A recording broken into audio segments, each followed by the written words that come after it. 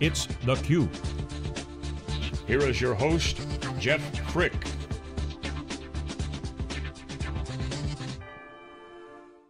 Hi, Jeff Frick here with theCUBE. We are in, on the ground in downtown San Francisco at the Clift Hotel at this Dell 1510 discussion forum on big data. It's the second in a series that they did. They did Boston on security, today was on big data, and we were hosted today by Susan Etlinger from the Altimeter Group. Yep. Thank you for hosting. My pleasure. Kind of a raucous crowd. It was a raucous crowd. You know, there are a lot of, no shortage of opinions today. So what did you think? You know, I think it's it was fascinating because you know we're in a room full of people who care passionately about technology. So unsurprisingly, you get a lot of opinions that are informed by passionate love of technology.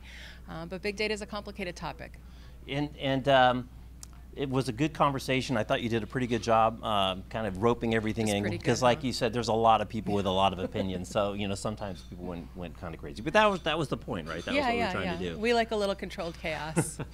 So, in, in preparing to come to this, I watched your TED talk that you did late last year, and congratulations. It was a great talk, and there were some really interesting themes I wanted to follow up with you, so I'm glad you, you stopped by. And one of them was really about, you know, we talk about the data, but I just want to grab what you said was that it's really about the importance of critical thinking, that without context, what is the data?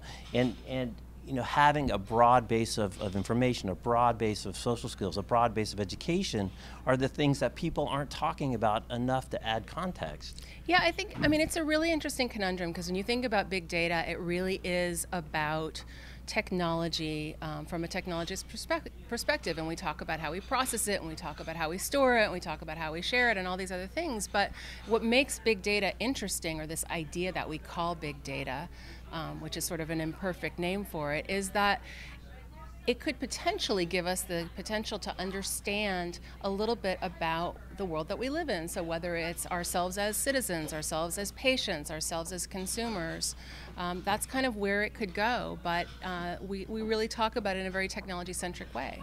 Yeah, and it doesn't seem like people talk enough about the context and enough about li little fun things, you know, how to lie with statistics. You know, change the scale on the XY axis and the slope of the curve looks really flat or really steep. And so there's a lot of these kind of softer issues that I don't know get enough attention or are we just not far enough down the path or that will come? What do you think? Yeah, I don't think they're softer. I mean, I think if you if you think about what big data is and the way that Gartner describes it, a lot of it comes from human expression, human speech, imagery, things like that. And there's really no technology today that will take an image and tell you the meaning of that image. You know, we, we're further along with language, but even when you think about language, there are arguably a thousand languages in the world. And even if you think about maybe, say, the top 100 or the top 50 from a business point of view, words mean different things in different contexts. And so, this is why it's important when you think about big data that, to understand a lot of it is unstructured, meaning it just comes like a tweet or a post or a blog post or a news story or a chat log in a call center.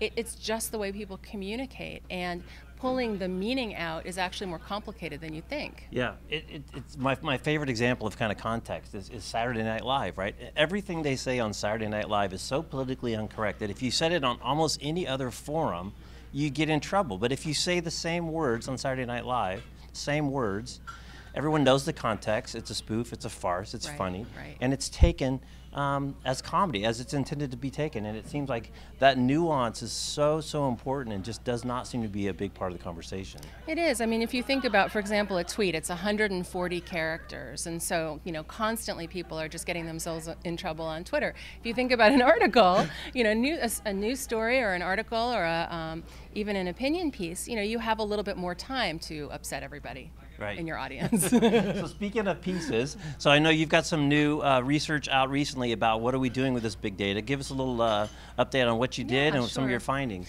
So, you know, the thing I've been really focused on and thing I'm going to continue to focus on for the remainder of the year and probably the rest of my natural life is how do we extract insight from data in a real way? Not just like somebody's age and how many times they went to the store and how many times they bought detergent and you know what could that possibly mean about them. But actually real insights about people's propensity to buy to be well to get sick to vote a certain way to do all sorts of other things. And so the insight piece is really important because it means that we have to think um, that you know business people need to think in a more sort of computational way to to be able to communicate with technologists and technologists need to think in a more business oriented way. So the insight is, is really important. And then the other piece is how do we do that in a way that actually engenders trust? You're right. Right. The trust issue came up a lot today. Yeah. And kind of this trade-off between privacy um, and trust and giving me enough information and one of the younger uh, people in the audience said I actually want to give you more information so you can give me better suggestions. Um, so it's certainly not settled by any stretch of the imagination and kind of the trade-off of value for privacy too I think is very different based on generations and people's experience today. Or maybe just time of, you know, time of the day, time of life, where you are. So if I'm walking down the street, you know, I sort of maybe expect there might be a camera there. If I'm in a restroom, I may not expect there to be a camera right, there. Right. If I'm shopping in the grocery store, yeah, exactly, back to context. Or like, you know, you think about teenagers. Teenagers want tons of privacy. I mean, it's hard being a teenager. You know, you get into your 20s, maybe you want different kinds of information, different kinds of, you have different expectations. Right, so we have to kind of figure that out. Except the clown teenagers share more stuff than anybody and they shouldn't be sharing. So tell your kids or not, be careful what they Snapchat share. Right? And everything's oh, that's right. Away, Supposedly, right? right? So, Susan, thanks for moderating sure. the panel. Thanks for My taking pleasure. a few minutes with us. Uh, good luck with the uh, with how do, how do they get the uh, report? Oh, you can just go to, go to altimetergroup.com and uh, download it there. Okay, awesome. So thanks again. I'm Jeff Frick. We're on the ground at the Clift Hotel in San Francisco at the Dell 1510 Big Data Discussion. Thanks for watching theCUBE.